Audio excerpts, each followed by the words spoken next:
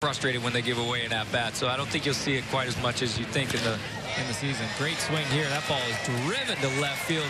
And Getchman has it go sail over his head. Borbon scores to tie the game. And Pedro Alvarez at second base with a double at his fifth RBI. No bunt there. So he's got a home run and he's got an RBI and a five RBI game.